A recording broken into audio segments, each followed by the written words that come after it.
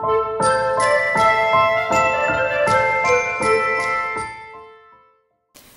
zusammen! Wurde mal wieder Zeit für ein Aufgebraucht-Video. Ich habe hier auch eine große Tasche stehen. Wir fangen damit gleich an. Ich bin heute ein bisschen müde. Es ist äh, Samstag, ziemlich später Nachmittag, ist schon fast Abendbrotzeit. Mein äh, Bauch sagt auch schon wieder, ja, können gleich mal was essen. Mm, bevor ich damit anfange, wollte ich nochmal Danke sagen für, für die Kommentare unter dem letzten Video und für die, Kom für die Sachen, die ich noch bei, bei Instagram bekommen habe. Und äh, schön, dass ihr da seid. Das ist auf jeden Fall nicht einseitig. So, womit fangen wir denn jetzt mal an? Ich greife einfach von oben raus. Sieht super gut aus. Ich habe einmal das One Ginger Morning.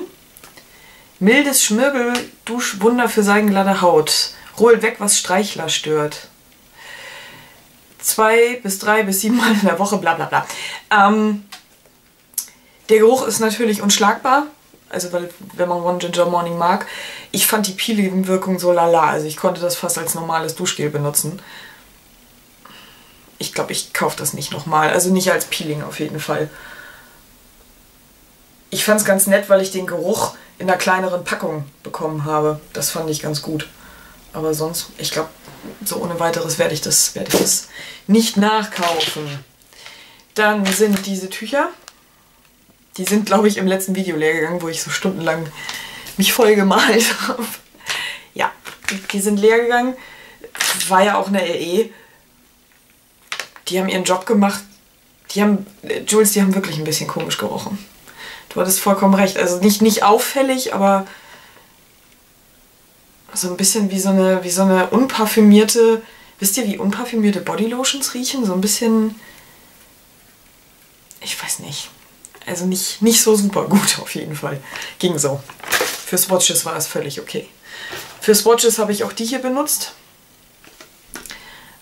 Ähm, ich glaube nicht, dass ich mir nochmal so so einen Kanister zulegen werde, denn die Tücher sind echt nicht so toll. Also Vielleicht, um mal irgendwie im Kind das Gesicht abzuwischen. Ich weiß es nicht, wofür man die sonst benutzen soll, aber war nicht. Also, wenn man sowas dann. Also, die im Vergleich sind einfach viel, viel besser. Sind natürlich pro Stück ein bisschen teurer, aber die machen den Job einfach viel besser. Die nehmen viel mehr, viel mehr Produkt auf. Das ist schon, ja, weiß ich nicht. Dann ein fast volles Sundance transparentes Sonnenspray. Ihr seht, da ist nicht viel raus. Das ist aber vom, vom letzten Jahr. Und nach einem Jahr, sagt man so als Faustregel, halbiert sich der Sonnenschutz. Und ich brauche mindestens 50, sonst kann ich, kann ich auf diesem Planeten nicht wandeln in der Sommerzeit. Und deswegen muss das leider weg, aber das kenne ich halt schon. Ich muss halt jedes Jahr einen, einen so einen Kanister nachkaufen. Dann habe ich aufgebraucht und es ist staubig und klebt und oh Gott. Äh, einmal das Kokospflegeöl, nein, Alverde Aromapflegeöl Kokos habe ich meistens vorm Schlafengehen benutzt, weil es da ja egal ist, wie doll man klebt. Es ist jetzt auch nicht so super schnell eingezogen. Ich fand es für die Schienbeine ganz gut. Ich habe unfassbar trockene Schienbeine. Hm. Aber ich habe halt auch ewig gebraucht, um das, um das wegzukriegen. Also um es aufzubrauchen. Und ähm, ich glaube, also das letzte bisschen, was da noch drin ist, also vielleicht so drei, vier Anwendungen, das roch dann auch schon nicht mehr so gut. Wie lange war es denn haltbar? Achso, es wäre jetzt noch bis, bis, äh, bis September wäre es noch haltbar gewesen. Aber wie gesagt, ich fand, es war schon nicht mehr, nicht mehr so wie am Anfang. Die kippen halt anscheinend schnell um. Dann haben wir hier einen Augen-Make-up-Entferner mit ein paar Katzenhaaren drauf. Von Diademin. Der ist, glaube ich, mal bei Rossmann aus dem Sortiment gegangen und da habe ich ihn dann gekauft. Der ist absolut vergleichbar mit dem von Rival de Loup, also mit dem ölfreien von Rival de Loup. Ist genauso gut. Roch ein bisschen besser, fand ich. Ich mag den Geruch von den Diadermin-Sachen total gerne. Ja. Aber wie gesagt, gibt es ja wahrscheinlich jetzt so nicht mehr. Und wenn der von Rival de Loup genauso gut ist und weniger kostet, naja, ihr kennt den Deal. Dann einmal die übliche Reinigungsmilch. Werde ich erstmal nicht nachkaufen, denn ich finde die von Lidl tatsächlich besser. Die riecht ein bisschen besser, Ich mag den Pumpspender total gerne. Liegt preislich, glaube ich, ein ganz bisschen darüber. Mhm.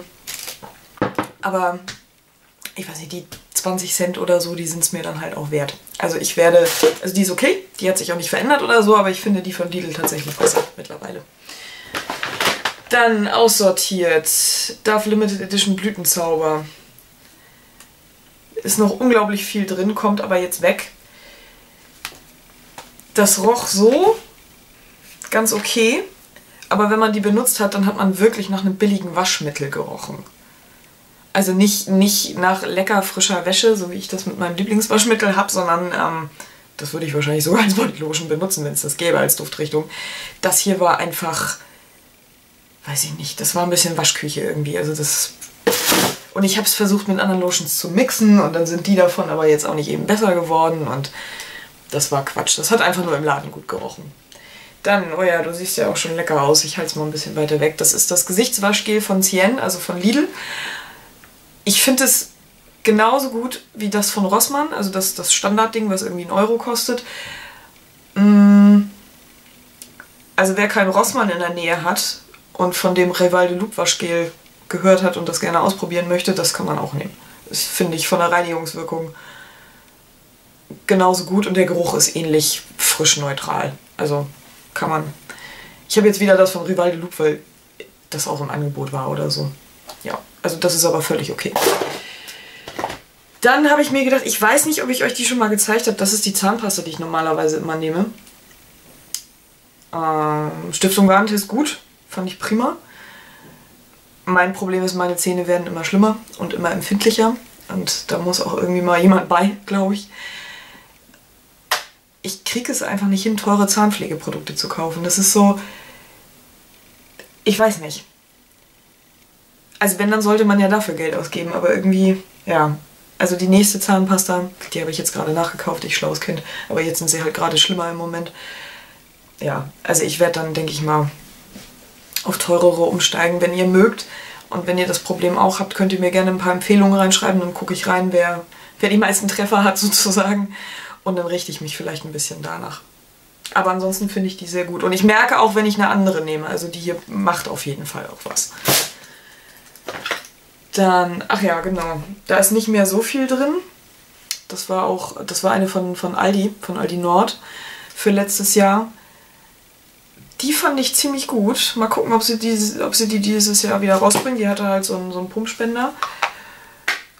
Und die fand ich tatsächlich auch gut fürs Gesicht und, und, und Dekolleté und so. War ein ganz klein bisschen reichhaltiger, aber trotzdem nicht so super klebrig.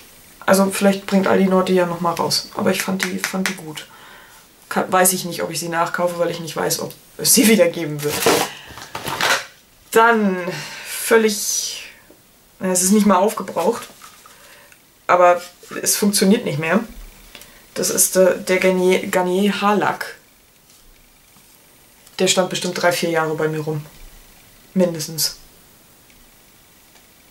Gar nicht so toll das Zeug gewesen. Also ich habe dann ja andere Haarsprays gekauft und das Ding rumliegen lassen und jetzt weiß ich nicht, was ich damit machen soll. Denn leeren kann ich es nicht, weil das hier halt funktioniert nicht mehr. Naja, mal gucken. Also das, den gibt es auch so gar nicht mehr. Würde ich nicht nachkaufen, hat keinen Sinn. Ich mag die Balea Haarsprays wirklich gern. Dann haben Svenny und ich die Seife, die Handseife hier aufgebraucht. Finde ich total gut. Ich werde auf jeden Fall nochmal gucken, dass ich davon ein, zwei Reserven kaufen werde, solange es die noch gibt. Denn der Geruch nach grünem Tee ist echt schön. Also die Sachen mit grünem Tee mag ich ja sowieso immer sehr gerne. Und gerade bei so Handseife so ein bisschen frischere Sachen finde ich echt gut. Dann haben wir hier ein Hyalurongel, das gab es auch mal bei Aldi Nord. Das habe ich jetzt auch endlich mal aufgebraucht. Also den ganz kleinen Rest da mit der Pipette, das kriege ich nicht mehr raus. Das war wirklich gut. Aber war halt auch eine Sonderaktion. Also werde ich, werde ich nicht nachkaufen können. Fand ich aber ziemlich gut. Hat, glaube ich, ursprünglich so 8, 9 Euro gekostet. Und bin da ewig mit hingekommen. Also habe es halt auch zwischendurch mal genommen. Dann war es eine ganze Zeit in meiner äh, in meiner Reisekosmetiktasche. Hm. Ist dann halt nur ab und zu mal am Wochenende zum, zum Einsatz gekommen, aber das hat echt, also das hat gerockt. Ich fand das ganz gut. Das ist das Balea Haarspray, was mir leer gegangen ist, wovon ich die große Größe gekauft habe, was ihr in dem vorherigen Video gesehen habt. Das war ziemlich ergiebig für so eine kleine Flasche und ja, also für die Reisetasche würde ich das hier auf jeden Fall nochmal nachkaufen. So. Totes Meermaske von Salt House. Fand ich gut. Könnte ich nachkaufen, aber es gibt im Moment so viel Auswahl an Masken. Ich habe auch im Moment relativ viele. Mal gucken wann. Aber kann man, kann man kaufen. oh, dann habe ich hier eine Empfehlung von Yumi. Das sind die Rossmann Traumtaschen mit Lachsfüllung ohne Zuckerzusatz. Und die fand sie besser als die Knuspertaschen von Whiskers. Die mag sie auch immer noch, aber die hier fand sie besser. Das freut meinen Geldbeutel natürlich auch. So, bleiben wir mal bei Masken. Oh ja, ich habe wirklich Probleme mit Unreinheiten im Moment. Also jetzt gerade wird es wieder ein bisschen besser. Es war nicht zyklusbedingt. Ich habe keine Ahnung, vielleicht war es der Stress, ich weiß es nicht. Auf jeden Fall habe ich Reinigungsmasken unglaublich oft und unglaublich viel benutzt. Mm, ein bis zweimal wöchentlich anwenden kann sein, dass ich es auch ein, zweimal öfter gemacht habe, aber ich habe ausgesehen zwischendurch. Also ich meine, man sieht das ja vielleicht, vielleicht immer noch so ein bisschen. Also ich habe jetzt auch keine Foundation drauf, aber ich habe echt schon besser ausgesehen. Also so hautbildtechnisch. Und so wie das die letzten zwei, drei Wochen war, also so bin ich lange nicht rumgerannt. Also mit 15 vielleicht das letzte Mal. Das war echt, also, naja, und deswegen halt großer Maskenverbrauch. Ah, hier haben wir gleich die nächste. Das war auch so eine klärende, habe ich echt ganz, ganz viel genommen. Oh ja. Die liebe ich ja sowieso. Ist, äh, muss ich auch immer zu Hause haben mag ich echt gern. Die ist, ich habe das Gefühl, dass die ein ganz, ganz klein Tickchen milder ist als die hier. Deswegen, also wenn ich das Gefühl habe, also ich wechsle die immer so ein bisschen ab. Ja, in beiden ist Tonerde drin. Tonerde finde ich gut. Dann haben wir hier... Oh, vielleicht finde ich davon noch den zweiten Teil. Das wäre gut. Dann wüsste man, Wüsste man, wie sie komplett aussieht. Nee, sieht man nicht. Ähm, das ist von, das müsste jetzt Schädens sein, die Spar Deluxe Maske mit Gold. Oh, ich habe sie euch in dem anderen Video gezeigt. Da habe ich gezeigt, dass ich sie gekauft habe. Äh, auch Goldschimmer und Hyaluron. Man sieht einfach frischer aus, wenn man die benutzt hat. Also wenn man irgendwie morgens aufsteht und sich denkt, oh Gott, muss das jetzt sein? Ein Tag? muss ein Tag jetzt sein? dann kann man die benutzen und dann ähm, also ich habe mich dann auf jeden Fall ein bisschen frischer und ein bisschen wacher gefühlt. Aber noch eine Sonnencreme von letztem Jahr. Das war so die, die ich äh, auf den Festivals und auf den Veranstaltungen, wenn ich draußen unterwegs war, das war die, die ich immer dabei hatte. Einfach um, um regelmäßig nachzulegen. Denn wenn man sich einmal eingecremt hat, muss man sich ja zwischendurch immer nochmal noch mal nachcremen, einfach um den Schutz aufrechtzuerhalten. Und was wichtig ist zu wissen, ist, dass sich der Schutz dadurch nicht verlängert. Meine Haut hat einen, Haut, hat einen Eigenschutz vor der Sonne von drei Minuten. Das heißt, wenn man es mit 50 erhöht, kommen da 150 Minuten bei raus. Und diese 150 Minuten verlängern sich nicht durch Nachtragen der Creme. Das sollte man, sollte man im Kopf haben, denn ähm, den Fehler habe ich früher halt auch gemacht. Und naja, was dabei rausgekommen ist, kann man sich ja vorstellen. Aber toi toi toi. Bis jetzt bin ich ohne größere Brände in letzter Zeit ausgekommen. Also die letzten drei, vier Jahre. Ja, fand ich ganz okay. Ich fand die Größe auch gut. Kann gut sein, dass ich mir die für, für den Sommer, für die Taschen halt wiederhole. Nagellackentferner. Ich habe wieder mehr lackiert in letzter Zeit, sehr regelmäßig. Habe da viel Spaß dran gehabt. Jetzt sind mir erst der, der hier ist mir verreckt und kann man das sehen? Der ist da an der Seite so. Ja. Toller Zeitpunkt. Hm. Naja, auf jeden Fall sind mir die Nägel auch ein bisschen verreckt. Aber was natürlich auch ein Zeichen dafür ist, Haut, Nägel. Gut, ich sollte vielleicht ein paar mehr Möhrchen essen. Hm. Ja. Ja, aber den kaufe ich immer nach. Also den habe ich auch schon nachgekauft. So, oh Gott, das ist ja Wahnsinn. Die habe ich einmal aufgebraucht, die gibt es auch schon nicht mehr. Ich mag die, also ich mochte die und, und, und, also es gab ja erst die 20s und die hier. Und die beiden habe ich benutzt oder benutze ich auch noch für, also als Handcreme tatsächlich. Und als Handcreme finde ich die total gut, weil die relativ nicht super schnell wegziehen, aber sie ziehen weg und ich habe das Gefühl, dass das meiner Nagelhaut auch ganz gut tut, die trotzdem relativ trocken ist. Aber wenn ich das nicht benutze, dann sieht das noch schlimmer aus. Also dann habe ich hier richtig mit, mit Furchen zu tun und einreißen und so. Und dafür ist die echt prima. Also als Handcreme finde ich die echt gut. Und auch mal für die Füße oder so. Ja. So, wir sind bald durch mit Pflege und dann kommt hier echt nur so aussortierter Kram. Dann habe ich auch, wie man sieht, im Sonderangebot bei Aldi Nord mal geschossen. Das war so eine Ampullenkur. Und eine Ampulle hat mir für, ich glaube, drei Anwendungen gereicht. Das heißt, ich habe das in mehreren Etappen benutzt. Also das, damit bin ich insgesamt wahrscheinlich drei Wochen ausgekommen und die habe ich halt gesplittet.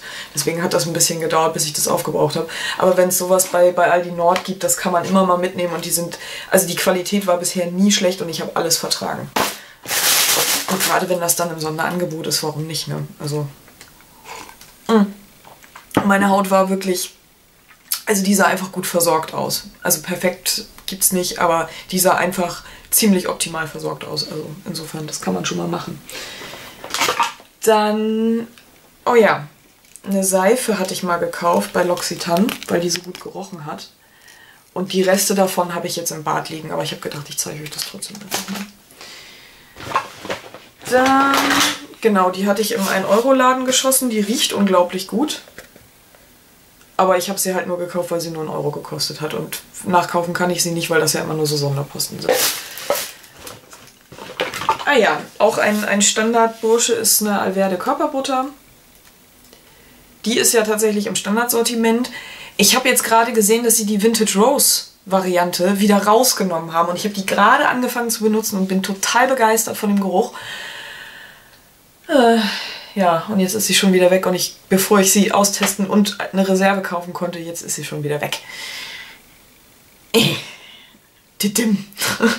naja, aber ich kann die ja nachkaufen und die ist vom Geruch her relativ neutral. Und davon habe ich schon diverse Pötte aufgebraucht. Also die kommt auf jeden Fall wieder. Ach ja, hier haben wir das 20s Döschen. Ich glaube, das. Ich glaube, die beiden bewahre ich auch auf. Da kann man kann man anderen Leuten immer noch mal was abfüllen oder so. Ich glaube, die lege ich mir mal hier hin. Mm. Ja, an dem habe ich auch ewig rum, rum auf. Den gibt es, glaube ich, auch schon gar nicht mehr. In der Performance ähnlich wie, wie der von Rivaldelob. Mm. Dann, oh ja, die habe ich geliebt. Die habe ich von, von Astrid bekommen. Oh, dieser Geruch, total lecker von The Body Shop die Vanillekörperbutter. Yumi! Yumi liegt in meinem Zimmer und ist gerade und ist eingeschlafen und jetzt sieht sie mich nicht und dann weint sie immer ganz doll und sie macht das so lange, bis sie mich wieder sieht. Yumi! Ich bin in der Küche. Ja, ich bin in der Küche. Komm her. Ja. Ja. Komm her. Ja, da bist du ja. Das wäre ein Video ohne Yumi-Unterbrechung. Komm hier, ja, komm hier, Schatz. Ja. Oh Gott, na komm mal her. Oh. Oh, das geht jetzt auch nur, weil sie total verpennt ist. Hm? Du kleiner nasser Fellsack. Hm? Meine Fellsonne. Hm? Willst du mal Hallo sagen? Nee, nicht am Ingwertee riechen, den magst du nicht, das weiß ich. Hm? So. Ja, danke fürs T-Shirt. Ich weiß nicht, ob ihr das sehen könnt, aber jetzt sehe ich aus wie die Katze. Gut, machen wir weiter im Text. Die Handcreme hatte ich auch von Astrid. Stand auf meinem Schreibtisch, habe ich aufgebraucht, fand ich gut. Der Zitronengeruch kann einem nach einer Zeit auf den Sack gehen. Also wenn man da gerade mal nicht so Bock drauf hat, hm, aber war wirklich, also von der Pflegewirkung her war die echt gut. War die in der Box, Mausi? Weiß ich nicht, aber war, war, war, war echt eine gute Handcreme. So. Fand ich scheiße. Fand ich wirklich schlecht. Hatte ich mir irgendwann mal mit einem Gutschein geholt. Wie man sieht, ich habe davon. Also die Pflegewirkung war nicht nur null, sondern ich habe das Gefühl, das hat den Zustand meiner Lippen verschlechtert. Tschüss. Alles, was einem nicht gut tut, ja, der ist abgelaufen. Also der ist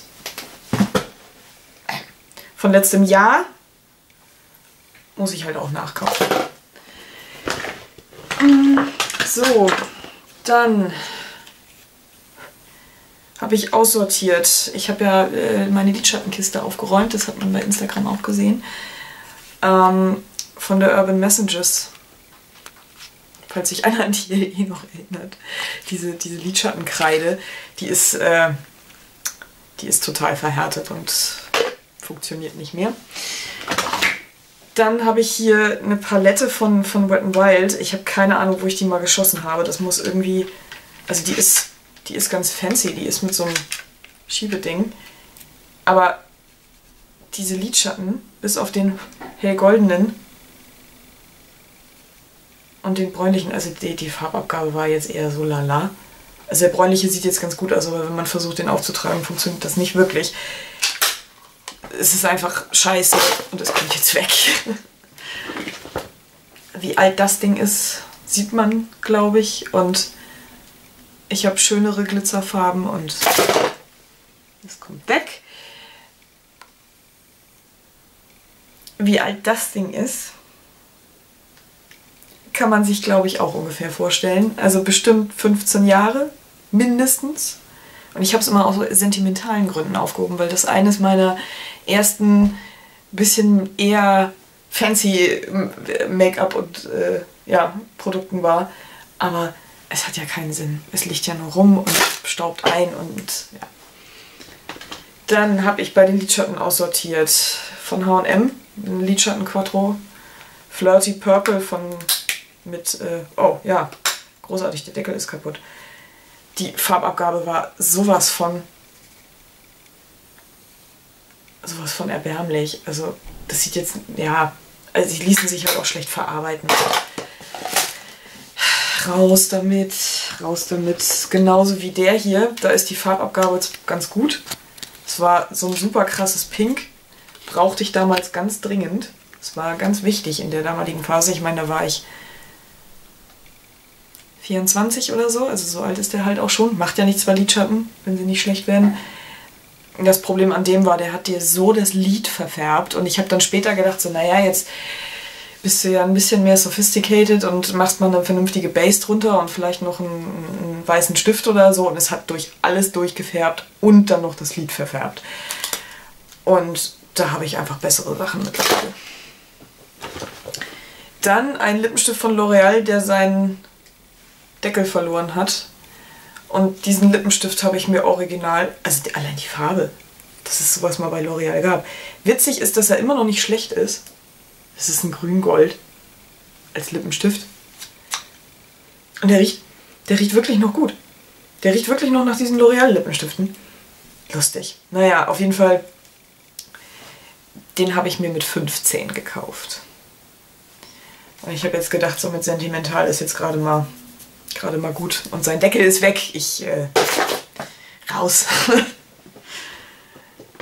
Dann ist mir von Essence ein, ja, man sieht es schon, äh, den Gel Eyeliner. Der ist hin. Darf er jetzt auch mittlerweile. Midnight in Paris war das, aber das Töpfchen behalte ich. Fällt mir gerade mal so auf. Dann werfe ich jetzt endlich mal diese Lidschattenpalette von Claire's weg. Man sieht, wie ich da drin rumgekratzt habe, weil die so schlecht sind. So unfassbar schlecht. Die haben, das, die haben das nicht mal ansatzweise verdient, neben den Schätzchen zu liegen, die ich da jetzt habe.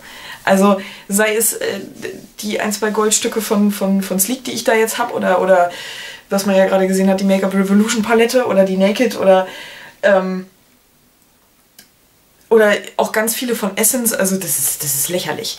Also das kostet dreimal so viel wie Essence und ist, ist, ist nicht mal ein Viertel so gut. Bloß nicht. Dann aus einer Essence LE, aus der Boom Boom. Wer kann sich erinnern? Wer war schon dabei? Das sind Cream Eyeliner. Und die sind durch. Die sind. Passiert nichts. Die sind, die sind trocken. Die Verpackung finde ich jetzt auch nicht optimal. So. Oh, eine meiner letzten Spider Lash Mascaras von Flomar. Habe ja keinen Flomar in der Nähe, aber ich habe einen Agenten.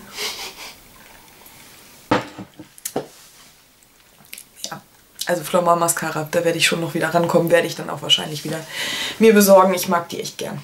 Komme ich gut mit klar. Die habe ich, glaube ich, mal geschenkt gekriegt. Ich weiß nicht, woher die kommt. Und die ist, wie man sieht, naja, ist auch nicht, nicht gut genug, um da zu bleiben, auf jeden Fall. Dann aus der Hollywood's Fabulous 40s. Ich weiß nicht, ob irgendjemand außer mir dieses Augenbrauengel gekauft hat. Voll gutes Zeug. Habe ich ewig, ewig, ewig behalten und immer noch mal einen Rest rausgekratzt. Aber ist jetzt auch durch. Ich meine, wie lange ist die her? Zwei Jahre? Mindestens. Dann von Manhattan. White Beauty Princess Mascara, ja. White Beauty Princess Glitter ist so eine Doppelmascara gewesen. Also ich meine, das Ding ist natürlich super schnell verreckt, aber diesen Topper wollte ich halt so lange wie möglich behalten. Und dann habe ich in meiner Kiste rumgewühlt und habe überlegt, wo ich den gekauft habe. Und dann ist mir eingefallen, das Ding habe ich in Lüneburg gekauft. Und in Lüneburg habe ich vor fast zehn Jahren gewohnt. Tschüss. Gott. Genau, wenig entsorge ist ihn hier. Den habe ich relativ neu gekauft, ist ja auch gerade erst ins Sortiment gekommen. Ich vertrag die nicht. Und das ist mir mit Drogerie-Mascara noch nie passiert. Generell mit Mascara noch nicht. Ich weiß nicht, also mit der orangenen Version, mit der Ursprungsversion komme ich total gut klar. Aber hiervon haben mir die, also besonders das Auge, vielleicht war es auch, hat er, hat er es drei, vier Tage schlecht, also was, nein, Moment, nochmal von vorne. Vielleicht hatte es drei, vier schlechte Tage hintereinander, aber ich habe aufgehört, die zu benutzen und es hat aufgehört zu tränen. Keine Ahnung, was damit nicht stimmt, keine Ahnung, was da jetzt für Partikel drin sind oder so. Die Ursprungsversion vertrage ich wirklich gut, aber die hier halt überhaupt nicht und das tue ich mir nicht an. Und das tue ich dann auch Svenny nicht an. Also Svenny hat ihre eigenen Mascaras ähm, und sucht sich da halt auch selber welche aus, wenn sie denn mal welche benutzt. So oft trägt sie ja kein Make-up. Aber äh, also das Ding war, das habe ich, hab ich wirklich noch nicht erlebt. Dass ich also wirklich da saß und dachte, Alter, was, was, ne, was schmiert das denn so? Naja. Dann aus einer vergangenen Alverde LE und die hatte Morty mir gekauft. Morty und ich sind seit, also im Herbst sind wir zwei Jahre getrennt, also insofern raus mit den Dingern. Die sind auf jeden Fall schon schlecht. Ja, Alverde schreibt nie die LE drauf. Keine Ahnung, war das die Black and White? Oder, nee, hieß die Black? Keine Ahnung. Red and Black? Doppelmascara. Hier, Topper. Weg damit. Dann habe ich hier einen gebrochenen Mega Ice Wet n Wild Lidschatten. Das mit dem gebrochen wäre mir ja an sich egal, aber der ist schlecht. Also der ist umgekippt. Der riecht nach verdorbener Kosmetik. Ähm, das geht dann auch nicht. Dann habe ich hier aus der Essence Sunkist einen Cremelidschatten. Und warum der? Äh, ja. Der ist mal hin, ne? Also ich meine, man könnte vielleicht noch versuchen irgendwie... Aber nee. Ich werde das Töpfchen behalten. Damit ich anderen Leuten Dinge abfüllen kann. Oder mir abfüllen lassen kann. Dann auch ein Lidschatten von H&M. Der heißt Party Silver. Seriously? Das ist ein Pink. Das ist so pink. Und es glitzert derartig, dass äh, immer alle gesagt haben, ich hätte meinen Transvestiten-Lidschatten drauf. Damals.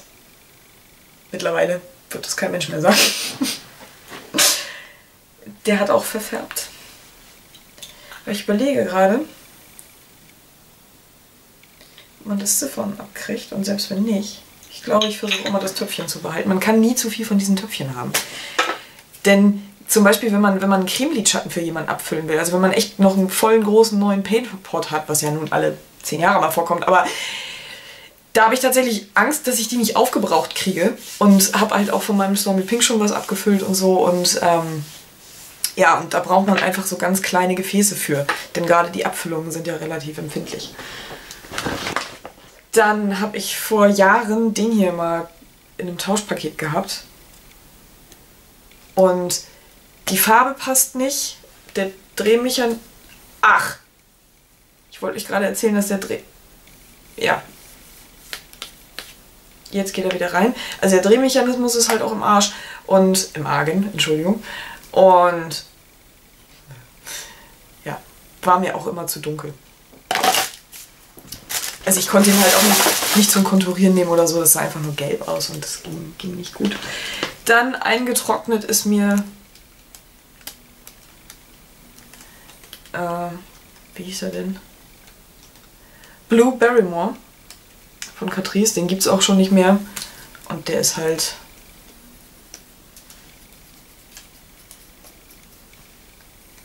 Ja, also. Der ist halt hin, ne? Diese Palette habe ich. Man sieht gar nicht mehr, was das mal war. Wie man sieht, habe ich den gerne benutzt. Make-up-Box. Ich kann es jetzt auch nur noch gegen das Licht lesen. Die habe ich bei Taco mal gekauft. Da habe ich noch in Niedersachsen gewohnt und war vielleicht gerade kurz über 20. Tschüss. Den habe ich gefunden. Wer kennt die Marke noch? Und der gammelt.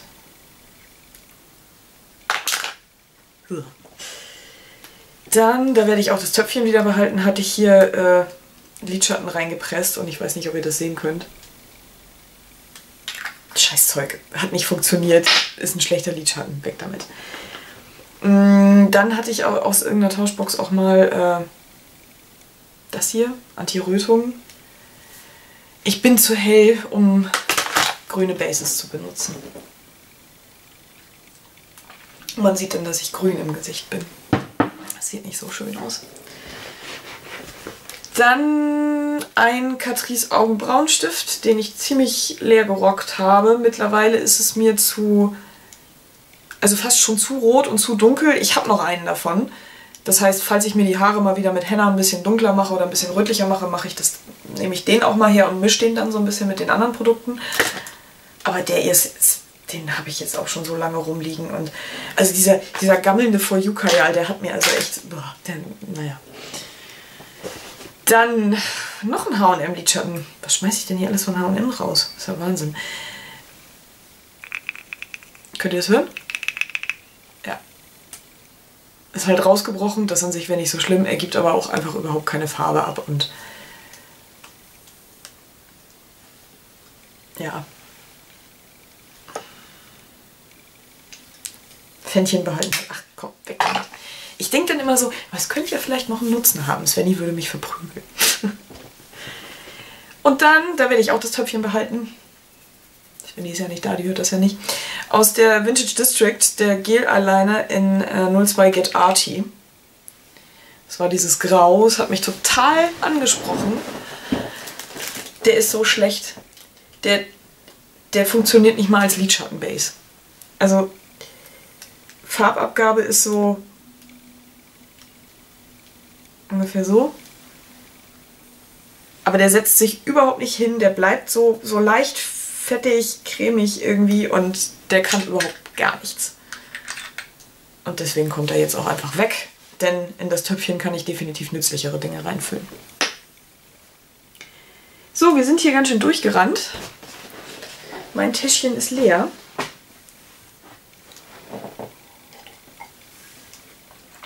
Ja, dann bleibt mir eigentlich gar nicht mehr viel zu sagen, außer danke fürs Zuschauen und bis zum nächsten Video.